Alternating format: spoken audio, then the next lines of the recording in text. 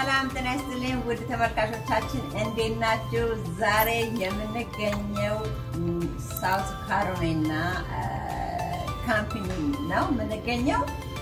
እዚች እንግዲህ ገጠር ውስጥ ነው። camping ብዙ ጊዜ የሚገኘው ገጠር ላይ ነው ቤቶቹ እና ሆቴሎቹ የሚሰሩት እና ያው መጥቶ ከቤተሰብ ጋር ወይ ደግሞ ከጓደኞቻችሁ ጋር መታችሁ የምትዝናኑበት ጸጥ ያለ ከተማ ሳይሆን ገጠር ጫካ ተራራ ላይ ምናምን የሚሰሩ ቤቶች ናቸው። ዛሬ እኛ ከጓደኞቻችን ጋር መጥተን ፈታ ዘና ልንል ካምፒን ነው ያለ ነው እና እስኪ ካምፒን ምን ይመስላል፣ እንዴት ነው የሚለውን ነገር ትንሽ ቀንጨብ ቀንጨብ አድርጌ አሳያችኋለሁ። በጣም ነው ደስ የሚለው።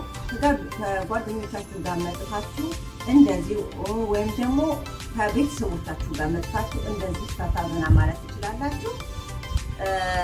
ያው ጫካ ነው፣ ብዙ የሚታይ ነገር የለው።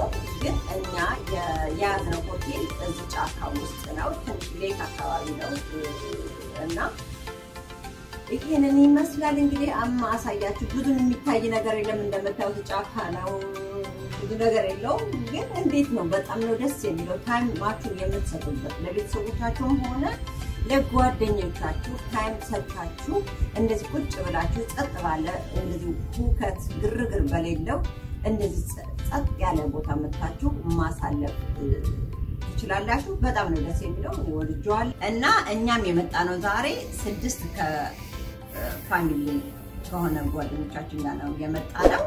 እንደነገርኳችሁ የያዝነው ደግሞ guest ደግሞ ስምንት ክፍል ነው ያለው እና በጣም ደስ ይላል። ልጆች አለን። ልጆቻችንን ሁሉ ይዘን ይዘናቸው መተናል። የልጆች መጫወቻ ቦታ አለው እና በጣም እውነቴን ነው የምላችሁ በጣም ነው ደስ የሚለው። ያለውን ሁኔታ ደግሞ ትንሽ ዞር አድርጌ አሳያችኋለሁ ማለት ነው። ተከታተሉ።